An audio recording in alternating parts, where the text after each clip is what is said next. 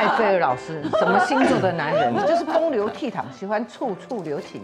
好，我们来看一下这个男生的这个星座题板啊，风流倜傥，喜欢处处流行的星座了哈。那个风流倜傥应该是形容男生，所以这个题目呢比较是针对男性的观众朋友，请大家参考太阳上升跟火星的部分。男生的部分为什么看火星呢？因为男生的魅力有跟火星有关，男生的这个冲动也跟火星有关啊。所以呢，我们现场来宾呢，我们麦大哥的火星，我们大家来观察一下啊，他是水瓶座。那我们来看一下观众朋友有谁上榜？太阳上升火星，如果是落在狮子座的朋友哦，你是属于风流倜傥，并且呢会处处留情的星座。我们来看一下为什么跟狮子座的个性有关。狮子座男生呢，他比较是属于外形出众，而且呢还富有内涵哦，也可以用一句成语来讲，就是内外兼具哦，非常好啊。那么大家可以观察一下，其实演艺圈里面有蛮多的这个狮子座的一些明星艺人。唱作俱佳啊，那也也有会写歌的，也有会演戏的，也有会跳舞的。整体来讲呢，就是非常能够打动女孩的欢心啊。再加上狮子座呢本身呢富有情调，也可能喜欢音乐，也喜欢艺术，或者是说也能够创作。整体来讲会让女生啊这个情窦初开的女生呢，让她觉得说哇，非要找这个狮子座谈一场恋爱。不可，所以呢，狮子座的风流倜傥绝对是无人能敌的啊！如果用言情小说来讲，狮子座的这个系列呢，可以用霸道总裁这四个字来囊括啊。那么大家如果说喜欢霸道总裁系列的话，那么呢，请找狮子座谈恋爱。第二个星座朋友呢，如果是双子座的朋友的话，他也是属于风流倜傥，而且是处处留情的星座。我们来看一下狮子座，就是你你喜欢的那个川普嘛？啊啊，哎，有可能哦。川普呢是双子座 哦，不是我喜欢，是我预言了哈。哦，至于怎么样呢？大家请看这个《命好玩》系列这个节目就知道了啊。来，双子座为什么呢？风流倜傥又会处处留情哦，跟他的挑逗话语有关，而且呢，他会充满着情调啊。那么双子座的一个优势来讲，他特别喜欢说一些甜言蜜语的话，而且呢，能够打动你的芳心啊。不管是什么年龄的女生哦，其实很容易被双子座的这种甜言蜜蜜语的这种情。调给触动哦，又让他觉得说好像回春一样哦，好想要再一次恋爱的刺激。如果说从这个这个呃，就是言情小说的系列的来讲话，这样的一个系列组呢，叫做花心大少哦。所以呢，如果说你喜欢花心大少，想要征服对方的话，可以挑战双子座男生就没错了哦。你可以想象一下，如果说你。到了七老八十，如果说像川普这样形象的人，能不能够打动你？如果你觉得可以的话，那双子座没有问题啊。再来看一下第一名的朋友，风流倜傥是这个星座，天蝎座。哎，我们皇上呢？天蝎座哦。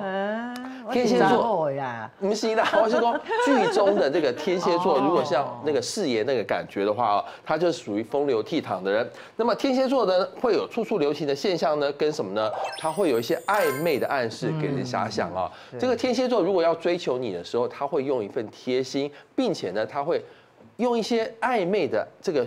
呃，语言或者是说暗示，告诉你说我其实很专情，而且呢我很用心。我过去所遭遇到的一些感情挫折呢，如今成就了我，要更珍惜跟你的缘分。我们呢是活在当下的人。他你听到这句话，觉得说哇，好像有可能他在下一秒要带你准备去看房子了啊。所以呢，他觉得说，哎，天蝎座这种暧昧的这种语调，让人家觉得说。不能够再错过了这样的一个对象。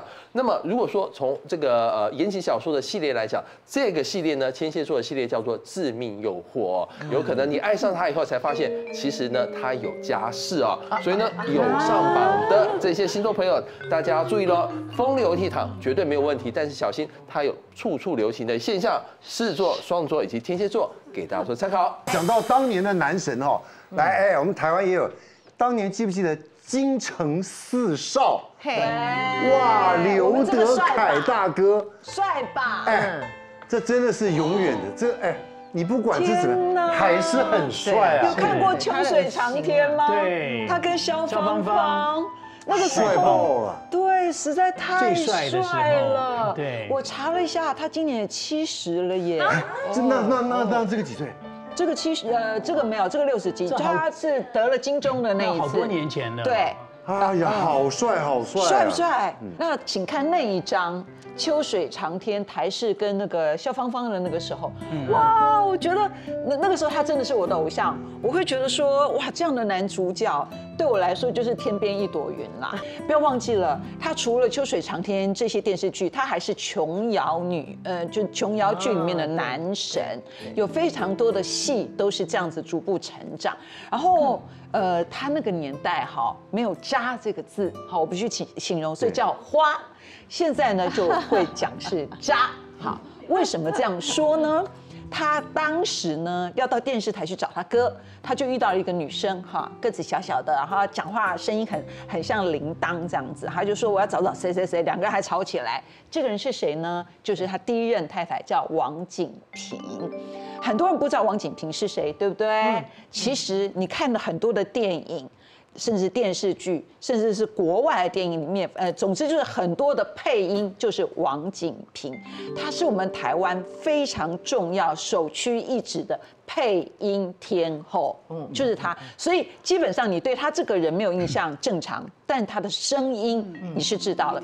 王景平小时候，各位那时候台视、华视、中视都有那个合唱团，很多人是那个合唱团出身的。王景平是。等于童星，后来就开始配音，两个人在电视台呃就认识，认识之后大家也知道刘德凯帅成这样，而且天生反骨，他们竟然谈恋爱了六十天，嗯，然后有一次呢，刘德凯就在计程车上就跟王景平说，当然要不要结婚？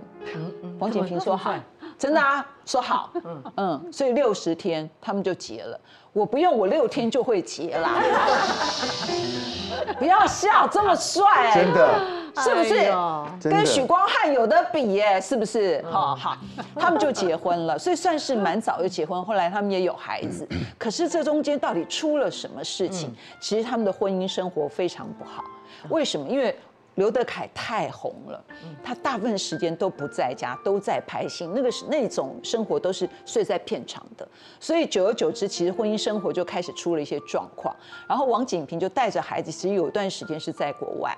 后来两个人要谈离婚，其实王景平是非常非常痛苦的，所以蛮长。这个婚姻等于很短，大部分时间是王景平自己照顾孩子。为什么呢？因为刘德凯他是一个发电机，他后来跟谁合作了呢？一定要讲。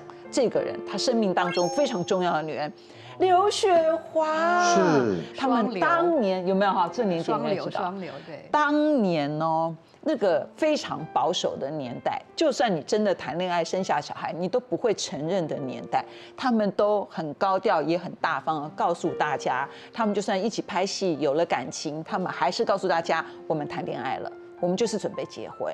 那个时候呢，他们住在一起，刘雪华也也准备要结婚，所以怀孕了。刘德凯呢，就到法国去拍一个戏。嗯，那我就说去了，人回来，但心没有回来。刘雪华只是接到一通电话，刘德凯要跟他分手。嗯，他在法国爱上了一个比他小十几岁的法国女孩，叫安琪。啊，在我们这个年代叫渣哈，在那个年代叫花啦，嘿，然后那个时候就有一个说法，当然就是刘雪华因为就是悲伤过度，在浴室跌倒，就造成孩子流掉了。孩子流掉之后，因为身体也不好，所以他从此不能再生。那这个悲剧当年闹得非常大，因为他们两个人，一个就是天王，一个就是天后。然后你刘德凯怎么这这么自由派啊？说不要了就不要了。那刘雪华当时又怀孕了，后来又流产，那整个过程都让大家把刘德凯简个简直骂翻了。哈，可是骂就骂吧。那刘德凯后来就跟这个安琪在一起，也结了婚，也生了孩子。但十几年过去了，我说过了，同一艘船不会在同一个港湾，所以后来他也跟安琪又分手了。那分手之后，刘德凯后来被媒体拍到是跟一个大陆的女生，他们就是等于是男女朋友这样。总之，他就是永远的我们心目中的。嗯，帅气小生，受欢迎的命理大师，现在都在命运好好玩开运服务，包含神准算命、开运商品、开运秘法，请上网搜寻命运好好玩。